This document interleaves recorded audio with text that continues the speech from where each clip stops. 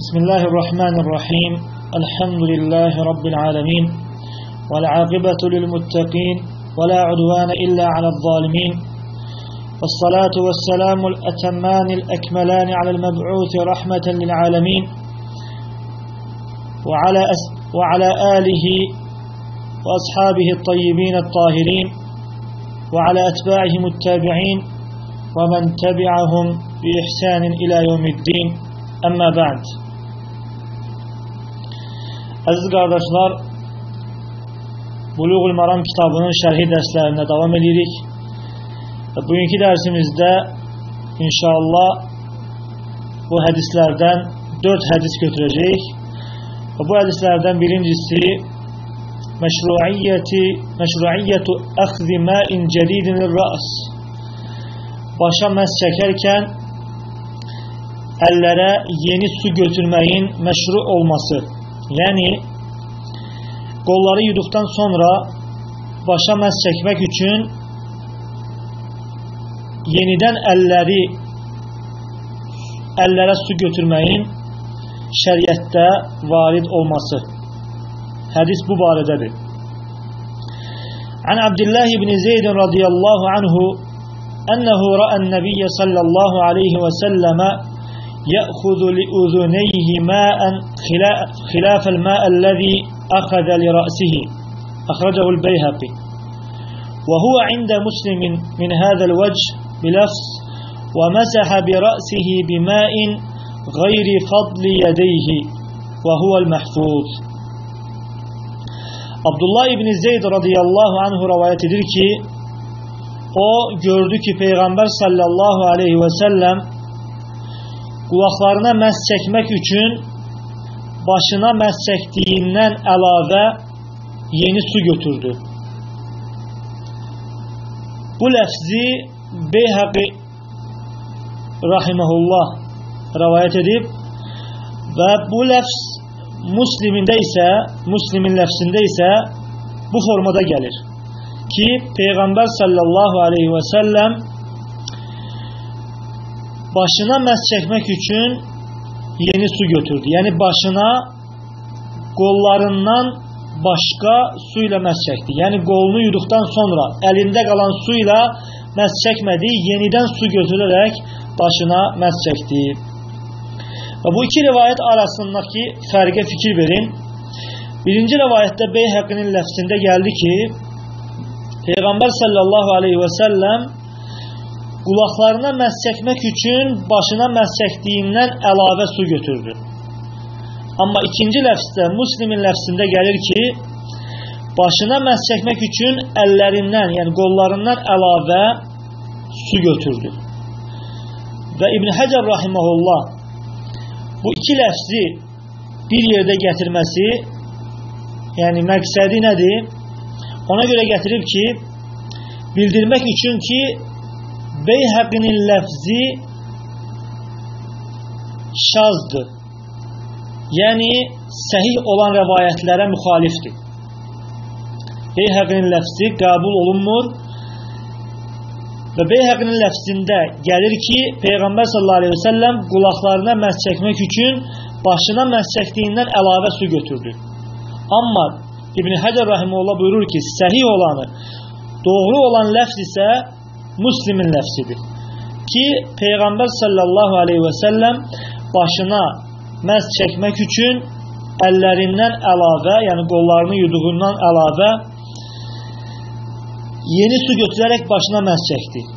Və axırda və huvəl məhfuz deməsi, yəni bilinən də elə budur deməsi bunu bildirir ki, muslimin ləfsi daha səhihdir və Beyhəqinin ləfsi isə şaz rəvayətdir. Şaz rəvayətdə, şaz da nə deməkdir?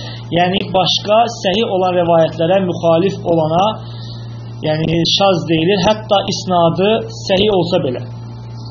Hədistəki ravilər səhih olsa belə e, həmin ravilərdən birinin e, xətası ilə birinin e, hafizəsində səhv qalmasıyla bu rəvayət şaz olub. Və bu barədə İbn Həcər Rəhməlullah gətirəcək. Və şeyx buyurur ki, Abdullah Fevzan hafizahullah deyir ki, "El-hadithu delilun ala enne meshal uzuneyni yekunu bi qaddi ma'ir ra's." Deyir ki, hədis dəlildir ki, qulaqlara məs çəkmək başdan qalan su ilə olur. Yəni başa məs çəkdikdən sonra əldə sulu qalır və həmin su ilə qulaqlara məs çəkilir və yeni su götürülmür. Qulaqlara məs çəkmək üçün yeni su götürülmür.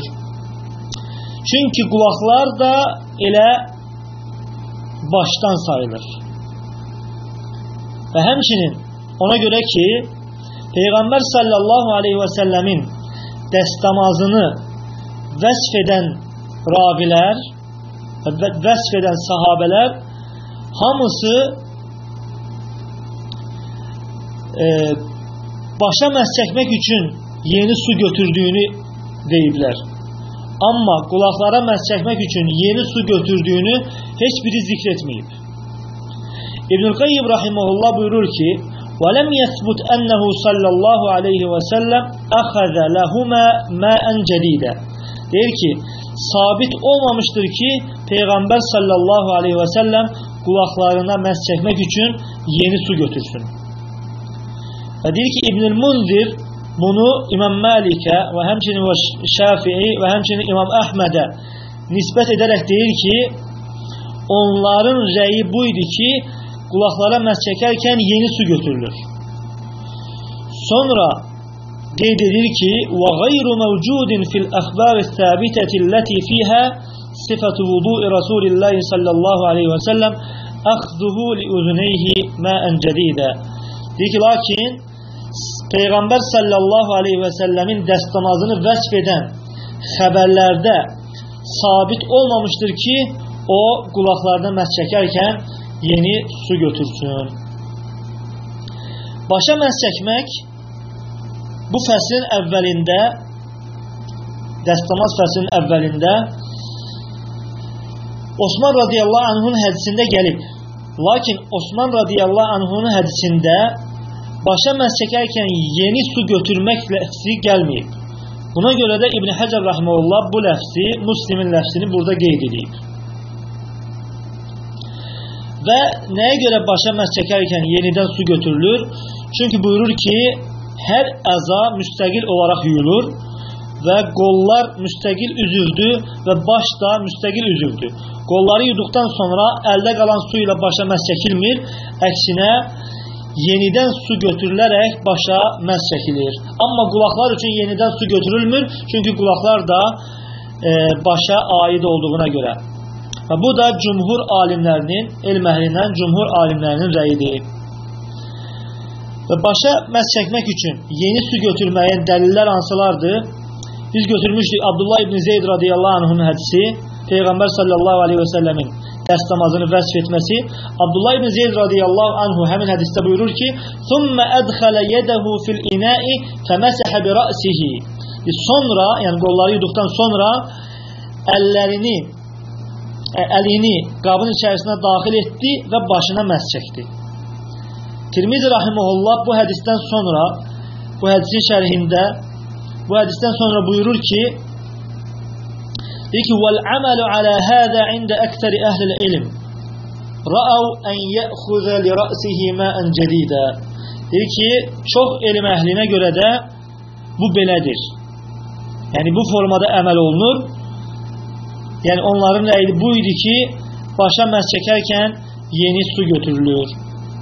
Və həmçinin Osman radiyallahu anhın hədisində də gəlmişdir ki, hansı ki onun xidmətçisi Hümran ondan Peyğəmbər sallallahu aleyhi ve sellemin dəstəmazını vəsf edəndə buyurur ki, "Thumma adkhala yadahu fa akhadha ma'an famasaha bi ra'sihi." Sonra deyir ki, əlini daxil etdi suya və su götürdü və başına məhz çəkdi. Və həmçinin Əli radiyallahu anhın hədisində də bu formada gəlib. Əli radiyallahu anhın hədisində buyurur ki, "Thumma ja'ala yadahu fil ina'i famasaha bi ra'sihi marratan wahidatan." etti. Sonra Peygamber sallallahu aleyhi ve sellem elini suyun içerisine dahil etti ve başına bir defa məhz çekti. Sonra şeyh buyurur ki وَذَهَبَ بَعْضُ أَهْلِ الْعِلْمِ إِلَى أَنَّهُ يَجُوزُ أَنْ يُمْسَحَ رَأْسَهُ أَنْ يَمْسَحَ رَأْسَهُ بِمَا بَقِيَ مِنْ أَعْضَائِهِ السَّابِقَةِ Bazı ilim ehli ise oraya götürmüştüler ki